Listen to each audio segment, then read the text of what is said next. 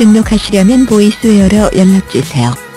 배우 이연희가 함께 연기 호흡을 맞춘 정용화와의 키스신 소유에 대해 논란 반응을 보였다.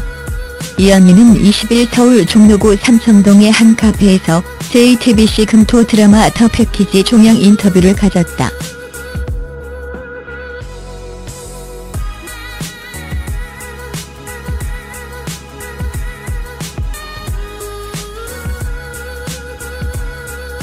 등록되지 않은 버전입니다. 극중 프랑스 패키지 여행을 이끄는 가이드 윤소소 역을 맡아 열연한 이연희는 패키지 여행객 산마루 역의 정용화와 호흡에 대해 사실 상의할 시간이 없을 정도로 정신없이 촬영이 진행됐다며 그래서 더 서로가 서로를 믿고 연기를 했던 것 같다고 말했다.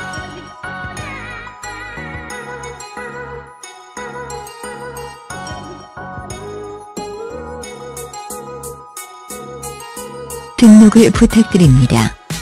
이연희는 극중 통블렌 섬에서 정용화와의 진한 키스신으로 화제가 되기도 했다. 이연희는 키스신 장면에 대해 통블렌 섬은 한국에서 촬영했다며 밤에 촬영했고 계절감이 안 맞아서 너무 추웠던 기억이 난다. 한 번에 끝내자는 심정으로 촬영했다고 설명했다.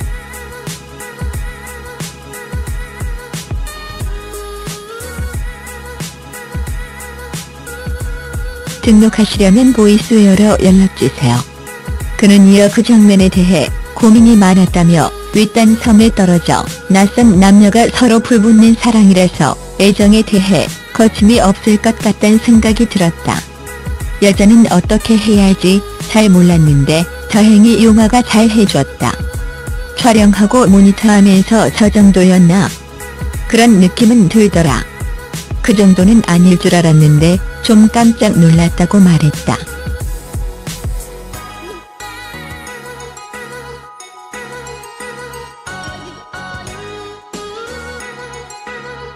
비정상적인 등록 상태입니다. 한편 더 패키지는 각기 다른 이유로 패키지 여행을 선택한 사람들이 관계를 맺게 되면서 벌어지는 사건과 소통의 여정을 그려나갈 여행 드라마다. 지난달 13일 첫 방송을 시작해 12회를 끝으로 지난 18일 종영했다.